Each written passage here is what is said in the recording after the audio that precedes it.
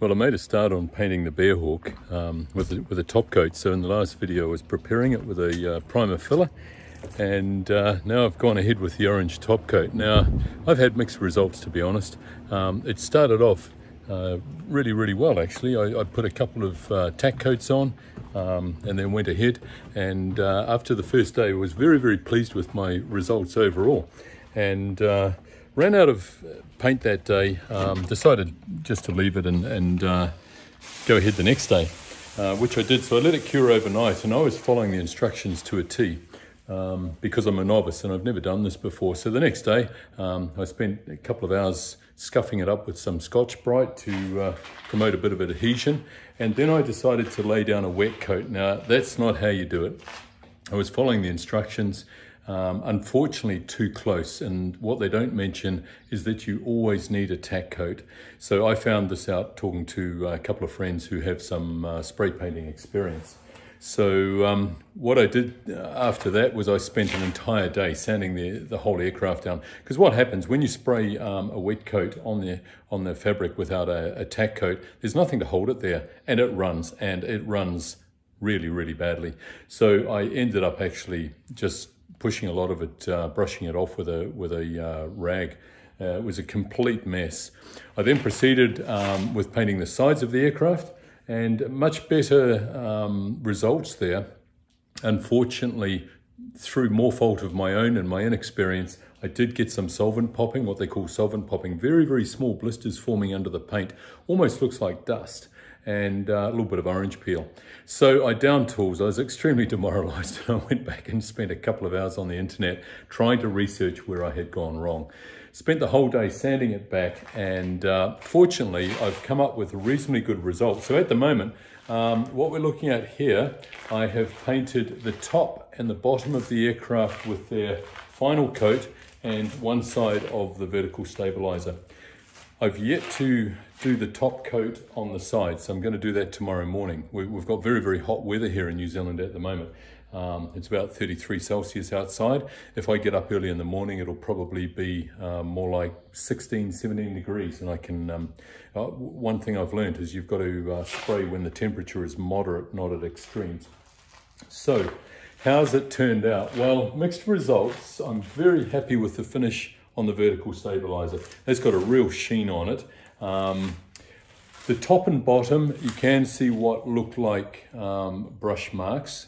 Not real happy. The bottom, I couldn't care less. The top though, actually when the aircraft is finished, it's going to be sitting up a little bit steeper than this. So when viewed from the back, you will see the top. And I was quite keen to get a nice coat on that.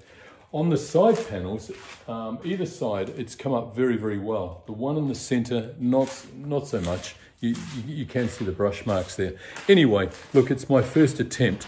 Um, one thing I do take issue with a little bit, uh, the Stewart systems promote themselves with a, uh, with a catchphrase saying that uh, it's a distinct advantage if you don't have any spray painting experience before. I take issue with that. It's a huge advantage if you have spray painting experience before, but there are some slight differences with using the Stewart Systems paint. And the main one is that you um, apply very thin coats and a few more of them. So when I was able to talk to a couple of friends that had prior spray painting experience, they told me some very valuable tips.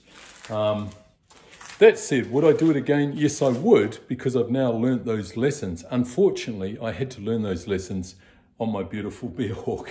Um, I've been able to salvage most of it. Most of it's coming up actually very, very good. And I think on the sides, and the, and the vertical stabilizer, um, I'm going to get probably a better finish than I would have otherwise. And uh, as I mentioned, the only real issue is, uh, is this top panel here. When I come to do the rest of the empennage, all the boot cowl, etc., etc., I know where I went wrong, and uh, hopefully I won't make that mistake again. I'm very happy with the color. Now, in the last video, I mentioned uh, I was spraying on top of a grey primer. Um, yes, I now know for certain colors, uh, like yellows and oranges, you don't, ideally you don't want to spray on top of a grey primer. Now, yesterday, my uh, white primer did arrive. A little bit too late, that's no one's fault really. It would have been helpful if they had mentioned uh, the white primer as being more suitable over the phone call when I ordered it. Um, anyway, that said, I just put on a few more coats and uh, I've got a very, very good uh, sort of depth of color going on on, on the aircraft there. Very happy with that. And uh, yeah, great saturation. So I, I, I think it's a very bold, strong color that I was after. Yeah, so the grey paint for my fabric interior arrived yesterday. Now, I had ordered this once again over a phone call to Stewart Systems. And yesterday it arrived. And I'm not sure if you can read that, but what it says is not for fabric. So that's for my fabric aircraft. So that took four weeks to get here and I'm back to square one. Yeah, so um, look, yesterday wasn't a great day Stewart, Systems wise. Um, I, am sure it's a great product once you get it on and once you've learned how to use it. I'm just struggling a wee bit to get there. Um, hopefully I'm through the worst of it. Um, I am looking forward to laying that final coat on the sides of the fuselage tomorrow. Hopefully much, much better results. And um, yeah, once it's all done, I'll, uh, I think I'm about due for a six month video update. So I look forward to doing that.